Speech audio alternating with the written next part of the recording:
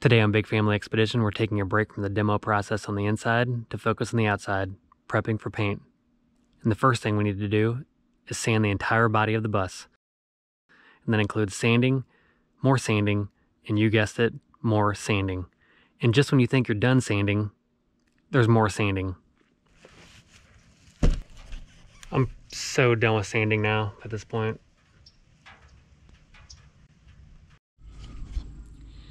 Today we're prepping the bus for paint. I have a friend coming over to help me sand it down. I'm gonna try to get some stuff prepped before he gets here. I bought a rubber eraser wheel to take off some of the leftover residue, the adhesive that was left on there. I'm gonna try to get some more of that done before he shows up. so here we go.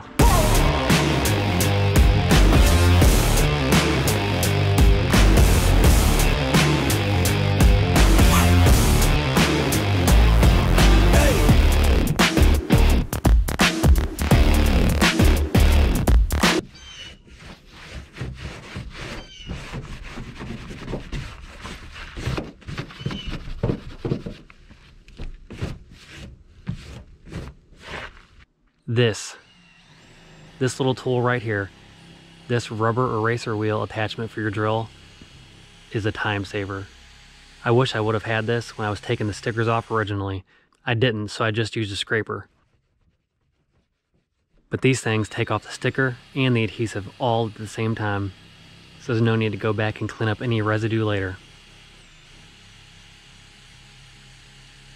Now, they are kind of expensive, this one was $42 from my local auto parts store. They do have some off-brand ones on Amazon that are cheaper, and I did order one. And while it still worked, it just didn't last nearly as long as the name brand.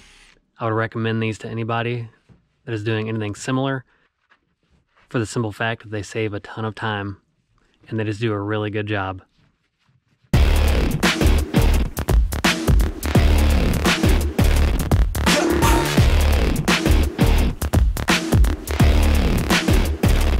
So I'm working on the back of the bus. I'm trying to get the rest of the the rest of the stickers and adhesive off so we can paint.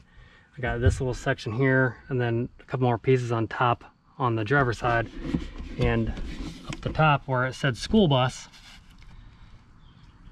there was two stickers there on the front and the back. Instead of removing the original sticker that said school bus, they just put a secondary one over the top of it. So the adhesive is twice as thick here. And some of the adhesives on these strips and on these stickers were like a honeycomb like they had a like string in them almost and those are really hard to get off.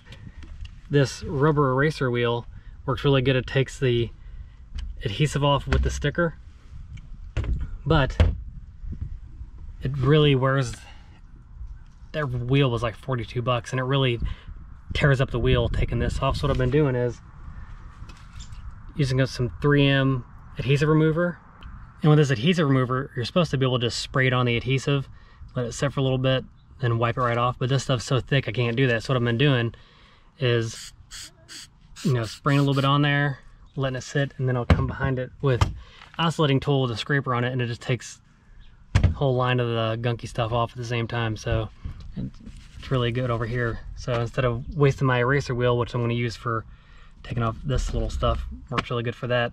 I'm gonna use the adhesive remover and the scraper to get that off.